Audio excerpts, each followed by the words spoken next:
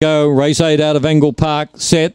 Racing, Bathtub Teddy away with them. Bathurst Bogan going well early. McLaren Chief heading toward the lead. Bathtub Teddy rails up, gives uh, McLaren a, a, bump and speeds away. Second is Deed. Bathurst Bogan's found the rails. He's starting to run on. They're followed by McLaren Chief.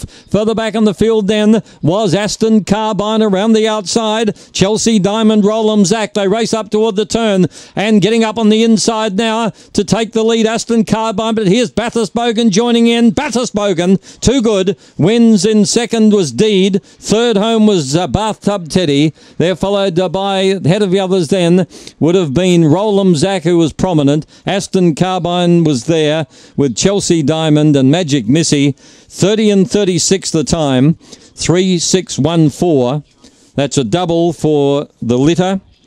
Bathurst Bogan and uh, his kennel mate Special Bogan, and uh, also the kennel.